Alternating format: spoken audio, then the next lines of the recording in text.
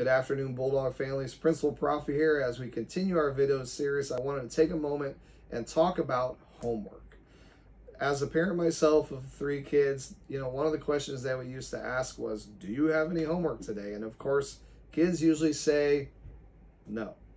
And so we want to make sure that we're helping you change the conversation around homework so that it's productive and uh, it's meaningful to you as a family and it involves you in their educational process. And so instead of asking your students if they have any homework, I urge you and guide you to ask them, what were you supposed to learn today? Everybody say it. What were you supposed to learn today? Funny you should ask that. What your students should be able to answer you with is what their objective was in each of their core classes. When you go into our core classrooms, there's always an objective, a purpose for that day, written on the whiteboard at the front of the room.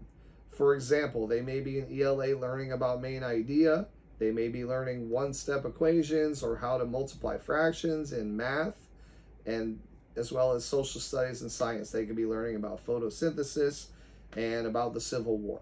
And so when they come home at dinner, make sure you ask them, what were they supposed to learn that day as opposed to just if they have any homework.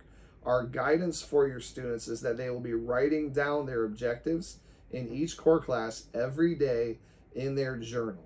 So please look for that. That'll be school-wide expectation that they write the objective down for all four core subjects every day. And then the discussion at home becomes, did you get there? And if you didn't get there, what are the resources that have been provided to you by the school and the teachers for you to make sure you get there. Once we get a couple weeks into the year, teachers will be posting all of their master lessons on Schoology through video with our owls in the room.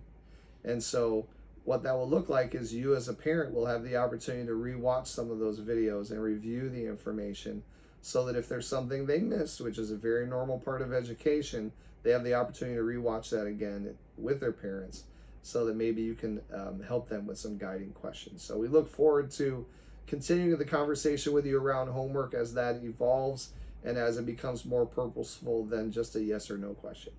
Thank you very much. Have a great day.